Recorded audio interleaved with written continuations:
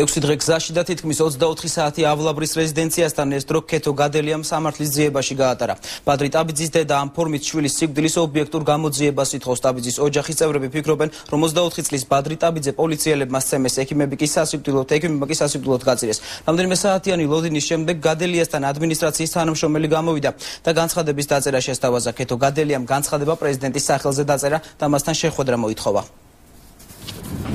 360 კილომეტრი ფეხით ქეთო გადელიამ პრეზიდენტთან შესახვედრად გამოიარა.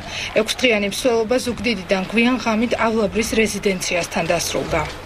ერთი შანსი დამჩენია რომ ჩვენ პრეზიდენტს მოუყვე ჩემი ამბავი და ნახოთ აბა პრეზიდენტი მე იმედი მაქვს რომ პრეზიდენტი რო გამიხ დაცვის თანამშრომლები გადელიას დააპირდნენ რომ რეზიდენციის წარმომადგენელი მას დღეს დილით შეხვდებოდა. ჩვენ რომ მოვედით გუშინ პარასკევი იყო და 12 საათი იყო და სამუშაოების საათები არ არისო და ხვალო შაბათია უმარავ მაინც იმუშავებს ვინმე მაინც მიგიღებსო და დღეს ეს შაბათი არავინ არ ჩანს.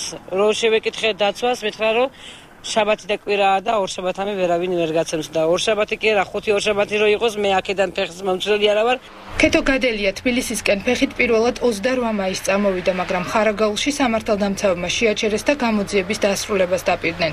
ბადრი ტაბიძის დედა მაშინ აქცია შეწყვიტა თუმცა შვილის გარდაცვალების საქმეზე გამოძიებისგან ამ დრომდე ახალი ვერაფერი შეიტყო. გარდაცვლილის დედა ამტკიცებს რომ 24 წლის ახალგაზრდის სიკვდილში სამართალდამცავები არიან გარეულები თუმცა გამოძიება შეგნებულ ნებულად ჭიანურდება. პროკურორმა მითხრა, ბატონ ხვიტია მითხრა 99% გახსნილი მაქვს შენი შვილის ამბავი და 6-ში მოდი და ყველაფერს გეტყვი და 6-ში მივედი და უარი მითხრა ისევლე და მე იძულებული გავხდი რომ ეს ბოლო წერტილი იყო ჩემთან 1 იანვარს ბადრი ტაბიძე 19 საათისთვის დეიდის სახლიდან ნასვამი გავიდა. ოჯახის წევრებმა მეორე დღეს საავადმყოფო საოპერაციო განყოფილებაში ნაცემი იპოვეს. ტაბიძე საავადმყოფოში უცნობ მამაკაცად გაატარეს, თუმცა ოჯახის მტკიცებით მას პირადობის მოწმობა თან ჰქონდა. დაშავებული ტაბიძე ზუგდიდის წმინდა ლუკას საავადმყოფოში სამი თვე იწვა. ქეთოგადელიას თქმით, ექიმები მის გაწერას მალე გეგმავდნენ, თუმცა ბადრი ტაბიძე მოულოდნელად გარდაიცვალა იმ დროს, როდესაც მისი და პალატიდან 20 წუთით გავიდა. გავიდა. საქმეს უგდიდის პროკურატურა იძიებს.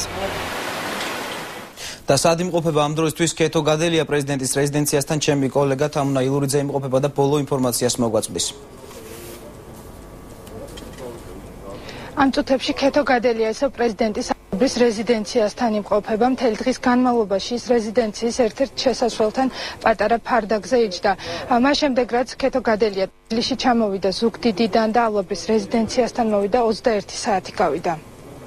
მე მაინც რო პრეზიდენტს რა შეხვდი, მაინც აქედან წამსვლელი არა ვარ 10 დღე რო იყოს.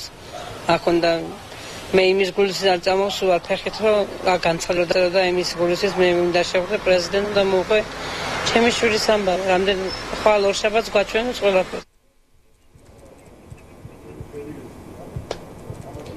ქეთო გადელია ზუგდიდში შვილი შვილი ელოდება გარდაცვლილი ვაჟის შვილი. დროდის დაბრუნდება უკან ზუგდიდში ჯერჯერობით ინფორმაცია არ აქვს და ეს იმაზეა დამოკიდებული როდის მიიღებენ პრეზიდენტის ადმინისტრაციაში გადაწყვეტილებას როდის განიხილავენ მის განცხადებას რომელიც დღეს დაწერა და ქეთო გადელია ამბობს რომ მისი აზრით პრეზიდენტს მისი ისტორიის შესახებ ინფორმაცია არ აქვს და არც ისიც რომ 21 საათია უკვე ავლაბრის რეზიდენციასთან ისის წინააღმდეგ შემთხვევაში მიხეილ სააკაშვილი გადაწყვეტილებას მიიღებდა და მას უკვე შეხვდებოდა. მადლობა თამნა პირდაპირ ეთერში თამნა ილურიძე საუბრობდა